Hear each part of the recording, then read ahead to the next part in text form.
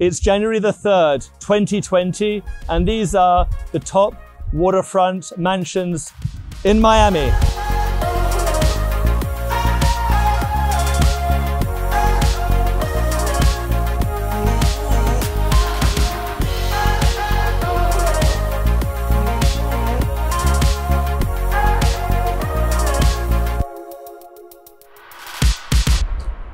We're standing here at 941 Venetian Drive. This is our first waterfront mansion to show you. After this, we're going to tour you around the others. So come inside and let me show you what $17.5 million buys you on Miami Beach.